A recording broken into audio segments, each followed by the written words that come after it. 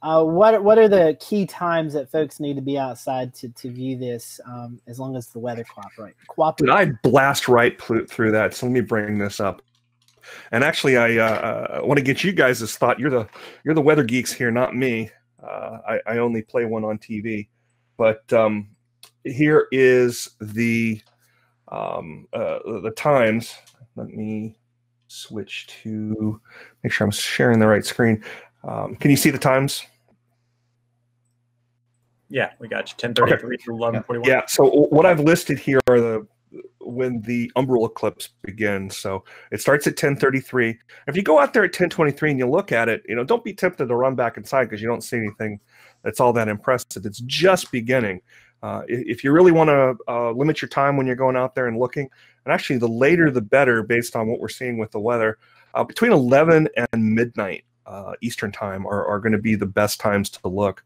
Uh, if you go out right uh, during the total eclipse, yeah, you're going to see some color, but you're not really going to get an appreciation for what's going on with the eclipse.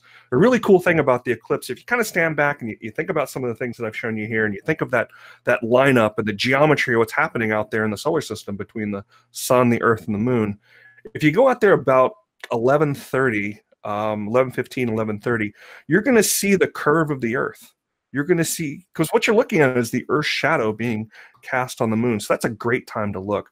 So things start at 10:33. Between 11 and about midnight are a great time to look. The total eclipse, when the moon is completely within the moon's umbral shadow, that starts at 11:41. Um, the totality lasts for just a little over one minute, and the whole show, um, at least the umbral part of the show, is about three hours and 16 minutes. So this is not too late for us.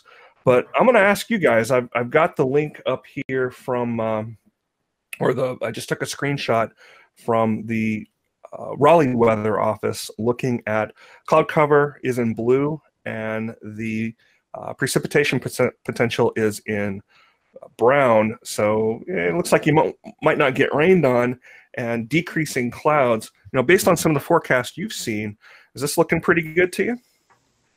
It does. Across Carolina, I'd say so. In the mountains, we could see some clouds sticking around uh, just due to some northwest flow in the wake of our front. But I think for central and eastern North Carolina, we're doing better. Yeah, that was my that's that was some folks have asked me here in western North Carolina. My concern is that what Ricky is talking about the northwest flow. So if you live in the mountains and just adjacent of the mountains in the northern foothills, you may have some clouds to contend with. But I think once you get towards the Hickory area in, in North Carolina, maybe uh, maybe uh, uh, Chris, you can help me out with some South Carolina locations. You know a little bit better than I do, but I think Hickory on on on East, you should be fine to see this. But I'm worried about the mountains and and some of the northern foothills just because of, of that northwest flow.